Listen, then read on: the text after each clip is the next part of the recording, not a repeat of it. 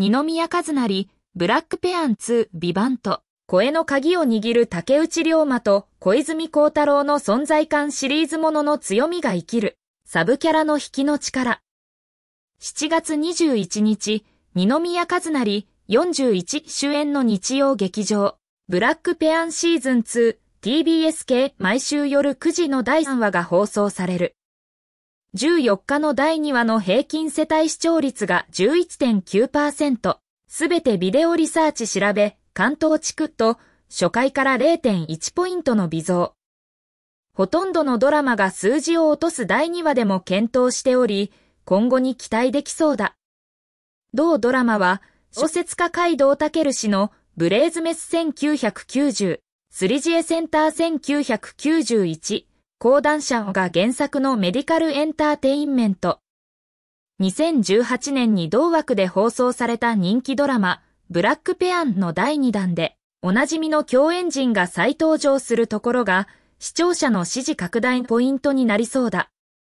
第2話は、世界的天才外科医天城幸彦、二宮は、東城大学医学部附属病院の病院長、佐伯清号、うちの西洋55に、計画中の新病院のトップに推挙される。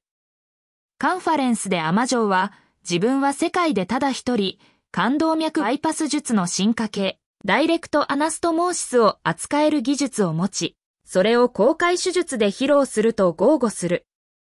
そんな中、心臓血管外科医世良正史、竹内涼真、31が担当している患者で、洋菓子店を営む重野、誠直也、76が、資金が足らずスナイプ術を受けられずにいた。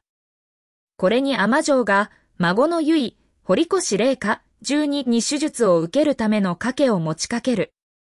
それは、祖父が独自開発したアップルパイを結衣自身が3日間でマスターするというもの、という展開。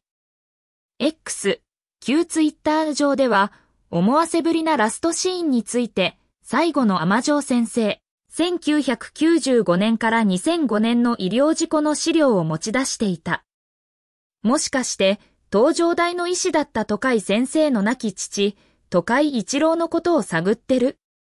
という声が上がるなど、全シリーズの主人公都会聖次郎と天城に関して、早くも考察が盛り上がっている。しかし、この視聴率を下げないしぶとさの理由は、考察などとは別のところにあるようだ。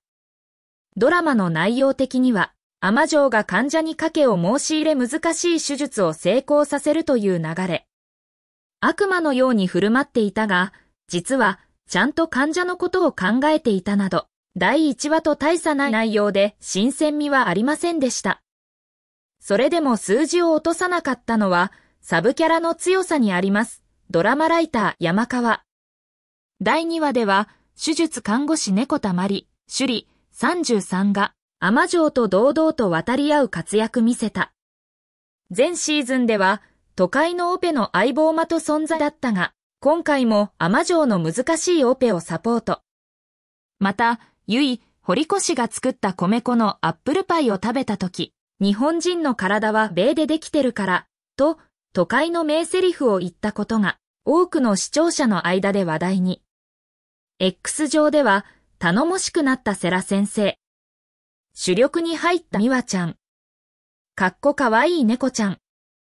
族と欲が増した高品先生。天才山城を掌握しようとする佐伯教授。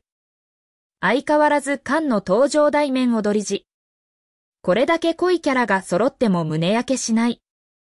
面白い、など、首里と共に、竹内、青岩か26、小泉孝太郎、36、内やらが演じるサブキャラに言及する声が多い。今回の猫田首里のクールな立ち居振る舞いに加え、世良、竹内が甘城に振り回され、高品、小泉はやっぱり甘城にやり込められてしまうという慣れ親しんだ世界。一作目のファンにとっては、彼らの姿が何よりの魅力になります。内容的にそこまでの山場がないのに、ドラマがだれなかったのは、彼らサブキャラの活躍が大きいです。全道。好調なスタートからビバントを超えるヒットになるのでは、という声も多い本作。その可能性は毎回のように山場を作ってきたビバントに比べれば、今のところ本作の爆発力は弱いです。ただ、シリーズものならではの馴染みのサブキャラを活かす展開ができるのが強みです。このまま視聴率を下げずにクライマックスへと持ち込めば、ビバント、声もありえない話ではないでしょう、全道。次回は、セラガ研修医民ジェ、キム・ムジュン26の指導員になり、二人が甘城に振り回されることになるようだ。竹内と矛盾の絡みとともに、今後のサブキャラの活躍に注目したい。劇中では息がぴったりな3人。このチームワーク感が魅力なのだ。